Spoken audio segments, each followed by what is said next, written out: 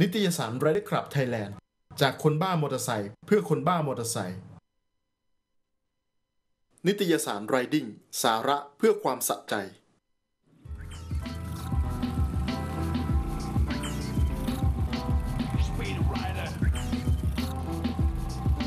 ครับกลับเข้ามาเบรกสุดท้ายกับรายการ Speed Rider นะครับทาง Speed Channel True Vision 691 นะครับเป็นรายการสดๆ ที่พูดคุยเกี่ยวกับเรื่องรถของเรื่องราวของรถจักรยานยนต์ รวมทั้งอัปเดตข่าวคราวในแวดวงมอเตอร์สปอร์ตนะครับ ก็ทุกวันจันทร์ถึงวันศุกร์นะครับ ก็ดูพวกเราได้รายการสดๆ มาพูดคุยกันนะรายการก็จะมีเรื่องราวของการรับสาย phone in แล้วก็เรื่องราวของ SMS กัน ช่วงนี้ต้องขอบคุณครับ นิตยสารรายเดือน Fast Bike Thailand คิดถึงอะไรแต่งคิดถึง X Speed โซ่ big bike คุณภาพมาตรฐานต้อง DID และกล่อง GLP เร็วแรงสั่งได้ครับในสุดท้ายของรายการแล้วครับ ท่านใดมีอะไรข้อสงสัย หรือจะมีอะไรเข้ามาสอบถามเราก็สามารถที่จะโทรเข้ามาได้นะคก็รับ ต้องขอบคุณทุกคนที่ติดตามอยู่ใน ใช่ Facebook Live ด้วยเฟนะซครับบุ๊กทาง YouTube หรือทางรายการสดของช่องทูวิชั่น691 ด้วยนะครับเราก็จะพยายามสรรหาข้อความหรือเนื้อหาดีอือฮึๆนะครับข้อมูลดีมาให้ท่านผู้ชมได้ชมกันรวมไปถึงการตอบคำถาม ตอนนี้ครับ โอ้โหเหลือคนดูอยู่ 9 ล้านกว่าคนนะ9ล้านกว่าคนนะคครัรับบอืมนะ นั่งอยู่ล้านละคนนะเหลือเก้าล้าน อะจอดรถทิ้งไว้ไม่ค่อยขับ น้ำมันระเหยได้ไหมครับ ได้ครับ แล้วก็ต้องระวังด้วยครับน้ำมันทุกวันเนี้ยถ้าไม่ใช่เบนซินที่มันเป็นเบนซิน 95น้ำมันระเหยไม่น่ากลัวหรอกน้ำมันตะบูดกอนน้ำมันเขาเรียกน้ำมันบูดมันตกตะกที่อเขานเรียกเนี่น้ำมันยบูดเนี่ยพวกโซฮอนทั้งหลายเนี่ยใช่ทิ้งไว้นานๆสแล้อวงรถวันนี้ก็สตาร์ทแทบไม่ติดรแล้ถวไม่ได้ใช้เนี่ยมันจะจับตัวมันแยกตัวระหว่างใช่น้ำกับน้ำมันไอตกไอตะกอนไอแอลกอฮอล์มันจะเป็นก้อนเลย เพราะฉะนั้นเวลาไปใช้ปุ๊บเราถ้าทิ้งไว้อย่างเงี้ยสมมติจอดกันว่ากันเป็นเดือนนะโอ้โหพอสตาร์ทปุ๊บทำงานมันสตาร์ทได้นะ แต่ไอ้พวก ตะกอนพวกเนี้ยมันเข้าไปมีแล้วไประบบอุอุดดไปตันแล้วรถหัวฉีดนี่เรียบร้อยเลย นะครับหัวฉีดตันเขาถึงบอกว่าใช้รถแก๊สโซฮอล์เนี่ยถ้าเป็นคนใช้ทุกวันอะดี อือฮึประหยัดใช่ e ต่างๆ e 10 e 85เนี่ยใช้ทุกวันเนี่ยคือว่ามันใช้ทุกวันไงอืม แต่ถ้าเมื่อไหร่คุณได้จอดไปสักอาทิตย์หนึ่งเดือนหนึ่งเนี่ยเรียบร้อย หลักเดือนเนี่ยรู้เรื่องครับ อาทิตย์หนึงยังไม่เท่าไหร่พอทนเพราะฉะนั้นถ้าอยากจะแบบเฮ้ยช่วงนี้ไม่อยู่สายที่เดือนเนี่ยกัดฟันไปเติมเบนซินเลยทิ้งไว้อ่าเติมเบนซินทิ้งไว้ อ่านะครับจะดีกว่า R1 S พัน R นะครับ HP4 ปี15 ช่วยวิเคราะห์ด้วยอืมถ้าว่ากันไปแล้วเนี่ย ชื่อชั้นจริงๆแล้วก็ต้องเป็น HP4 ที่มันสูงสุด เพราะระดับ HP4 มันคือตัว top ของ BMW และ BMW มันก็มี S พันซึ่ง S พันมันก็ไปปะทะกับตัว R1 อยู่แล้วถ้า S จะ S พันกับ R1 เนี่ยมาเจอกันได้น่าจะ HP4 มันต้องไปเจอกับ R1M ใช่ แต่ว่าเป็น R1M ก็15แพงกว่า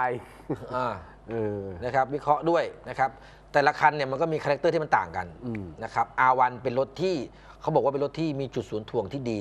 สามารถเข้าโค้งได้อย่างรวดเร็วมากนะครับเป็นรถที่พลิกรถเร็วเดินคันเร่งเร็ว แต่เครื่องยนต์ด้วยเป็นระบบ crossplane เนี่ยเขาบอกว่าให้ความเอ่อดุดันในทอร์กที่มันสูงเนี่ยการเข้าโค้งเร็วแต่การออกจากโค้งเขาค่อนข้างที่จะทำความเร็วไม่ค่อยได้มากอือฮึนะครับสังเกตได้ดูจากเอ่อการแข่งขันเนี่ยเขาจะแบบโหพลิกเร็วได้เร็วมากเขาแต่เขาต้องไปแก้ไขในทางออกในการแข่งขัน ส่วน BMW เนี่ย จะมาคล้ายๆ กับรถพวกฮอนด้าเป็นรถที่รถคุณหนูนิดอืมๆขับสบายๆ เครื่องนุ่มๆ ไม่ได้มีอะไรกระโชกหากสายหล่อมั้งนเถอะ BM แต่สามารถที่จะเพิ่ม option อย่างขยับอย่างเป็นตัว HP4 เนี่ยครับก็อัดในเรื่องของความเบาในเรื่องของคาร์บอนในเรื่องของค่า ECU ในเรื่องของระบบไฟฟ้าไม่ว่าจะเป็นโช้คไม่ว่าจะเป็น quick shift ต่างๆ เพื่อให้การขับขี่มัน smooth แล้วก็รอบเครื่องยนต์ที่มันดีขึ้น แล้วก็ขับขี่ได้มีความรวดเร็วมากยิ่งขึ้นเพราะฉะนั้น 3 ตัวเนี้ยมันแตกต่างในเรื่องของ character เครื่องยนต์แล้วก็รูปทรง นะครับแต่ถ้าจะให้เลือกจริงๆเนี่ยแหมมันก็เลือกยากอะเนาะจะเอาแบบสายแบบสายจี๊ดอย่าง R1 นะครับ torque เร็วบิดสนุกขี่คล่องตัว หรือจะเอาแบบคุณหนูสายหล่อขี่แล้วสาวเหลียวอืมนะครับยิ่งเพชรพีโฟนี่เหลียวคอแทบหักเลยทีเดียวเชียว ไม่รู้หรอกนะครับผู้หญิงอะถือว่าขี่ S พันจะจบนะอืมเป็น BM อะเออใช่ใช่ใช่พี่โฟก็จบละใช่เหมือนกันแหละเพราะแล้วเดี๋ยวนี้ S พันก็แต่งเหมือนเหมือนเลยประมาณนี้นะคะ สายถักแท้หาซื้อที่ไหนครับ ตามร้าน big bike ทั่วไป ก็ตัวแทนจำหน่ายเลยครับที่เขาเป็นตัวแทนจำหน่ายก็สายสายเออทั้งหลายก็อย่างอะเอไรอกู๊ดลิกเดิร์ด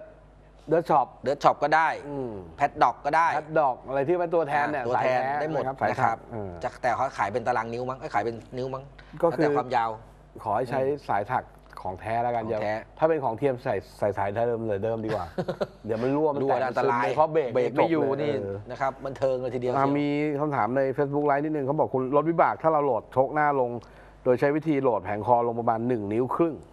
จจะเป็นอะไรไหมไม่เป็นครับรถวิบากจะโหลดทำไมอะ ไม่เป็นครับอาจจะเตี้ยเหมือนเหมือนพี่คนที่อยู่อ่าโอ้โหอยู่ก็อะไรนะก็สแตเพชรนบุรี เอาตั้งสแตนแล้วก็โดดขึ้นในรถวิบาก โอ้พี่ มันยิ่งช่วงชุบย่วงช่วงชุบ ช่วงยุบ ช่วงยุบช่วงยุบ ช่วงชุบอยู่นั่นแหละ ช่วงยุบ ช่วงยุบดีรถเออวิบากมันต้องใช้โชคแสดงว่าเขาไม่ได้เป็นอาจจะไม่ได้ไปขี่แข่งขันอะไรอย่างงี้ไงอาจจะขี่เล่นอ๋อขี่ใช้งานนะให้มันเตี้ยหน่อยจริงๆก็ทำได้เพราะว่ามีพี่ที่เพชรบุรีเขาทำมาแล้วก็ได้ช่วงหได้น้าช่วงหลังพอขี่เริ่มขี่เป็นขี่คล่องรู้ทักษะเพิ่มขึ้น ก็ขยับมันกลับเข้ามา เขาถามว่าจะเป็นอะไรไหมมันเป็นนะก็ก็มีผลต่อการขับขี่เหมือนกันนะรถวิบากอะคือไปโหลดเราไปนิ้วครึ่งแล้วจากจากเดิมที่เคยอ่าเอาไปลุยลุยโดดโดดๆได้ครับ มันก็ช่วงยุบมันก็สั้นลงอะ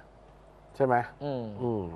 ใต้อย่างน้อยข้างใต้ข้างล่างอะแข็งก็เตี้ยลงเอาครัง่ายบ ๆเอาโหลดลงมาเนี่ยไว้ขี่ในทางวิบากก็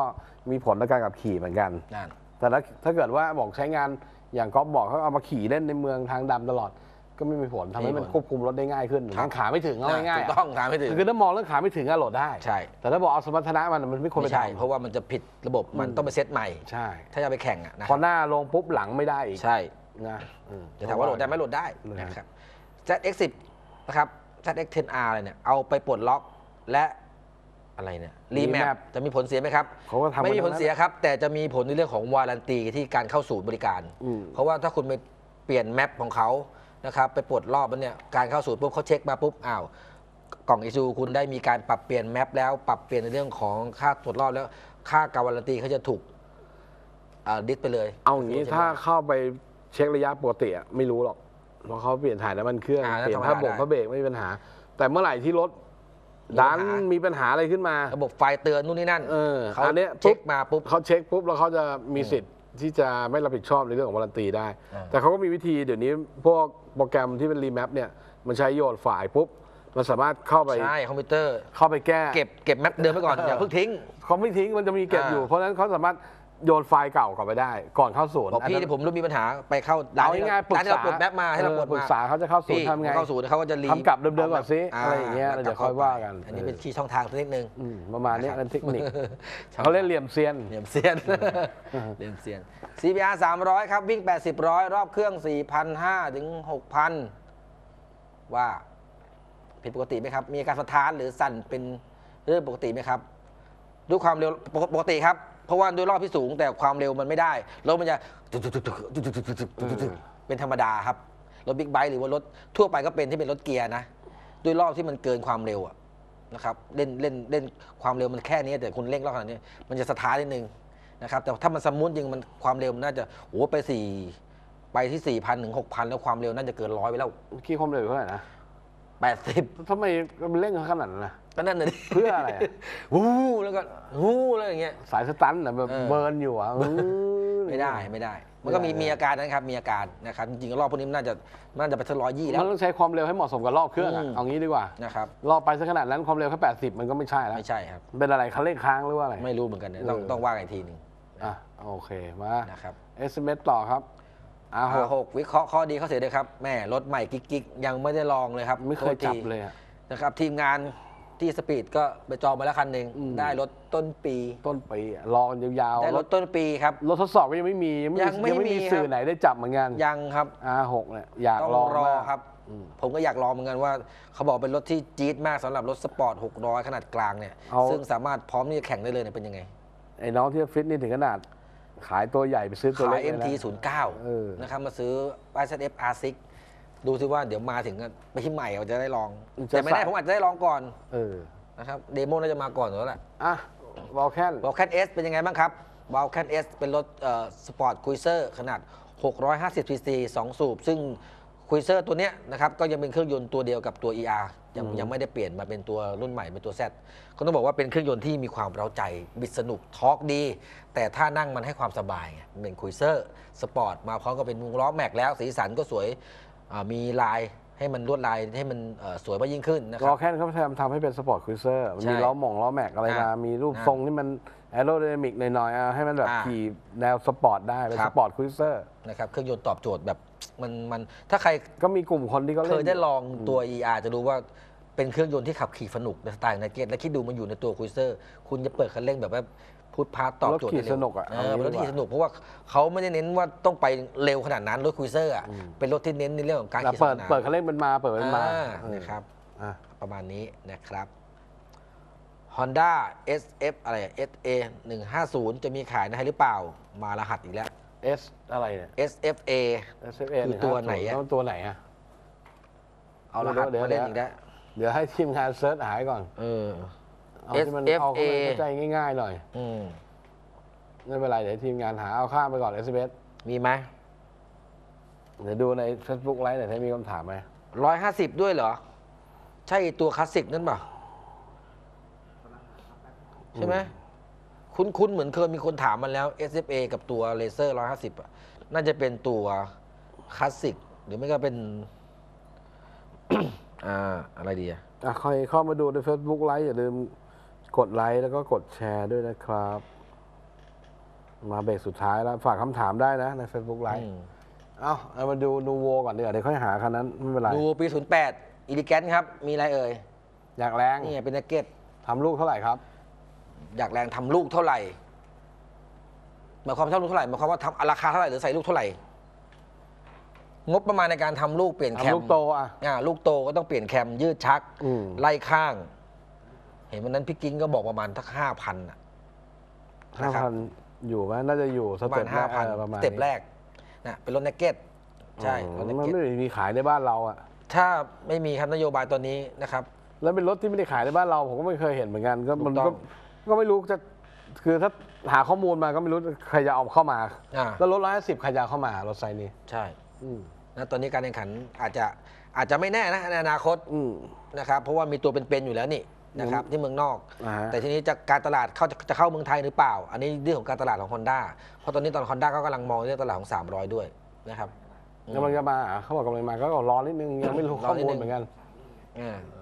ก็ไม่แน่ที่เขาบอกไว้ว่าภายในสองสามอ่ามันปีหลายนี้ก็จะเปิดหลายรุ่น ตัวทั้งหมด 13 รุ่นเนี่ย อืม ใครจะไปรู้ว่า SFA ตัวเนี้ยอาจจะมาอยู่ในเป็นหนึ่งรุ่นที่เขาจะต้องเปิดก็ได้อันนี้ก็ต้องรอรอดูรอนิดนึง เราไม่กล้าฟันธงนะครับเพราะแล้วว่ายังไม่มีข้อมูลด้วยเขายังไม่โดนเปิดเผยข้อมูลมา ฟันธงก็อย่างที่บอกไปอะพอฟันธงปุ๊บก็จะมีในเรื่องราวของการหักหลังเราประจำนะฮะ เราจะหาข้อจะหาข้อมูลก็ได้คือเราก็ไป search Google มาตอบก็ได้มันอ่าแต่ว่ามันไม่ชัวร์รู้ไงทำไปเพื่ออะไรอะเออ ก็ก็ไป search เองก็ได้ไม่ต้องถามเราก็ได้ ใช่ เดี๋ยวรอข้อมูลแน่น ๆ มาชัวร์ๆว่าเขา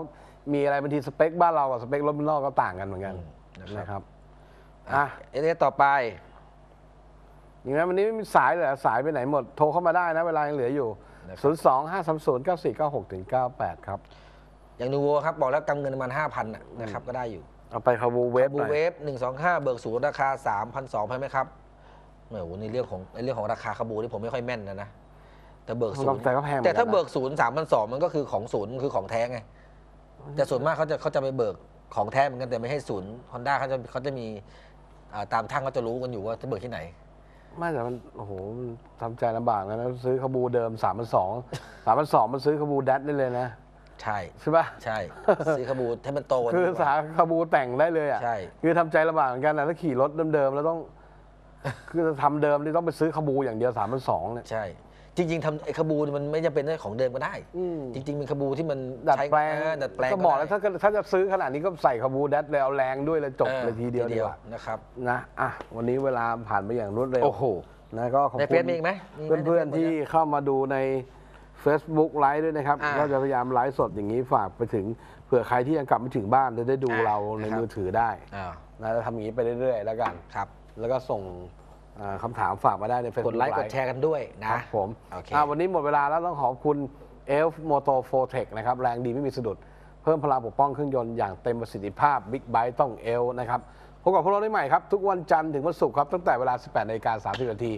จนถึง 20นาฬิกา40นาทีครับ ทางช่อง Speed Channel t e l e v i s i o n 691 ครับ กับรายการ Speed Rider พบกันใหม่วันพรุ่งนี้ครับ วันนี้เราสองคนลาไปก่อน สวัสดีครัสวัสดีคบรั